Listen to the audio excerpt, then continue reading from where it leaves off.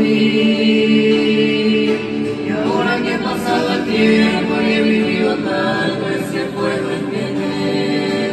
Dios me ha bendecido tanto.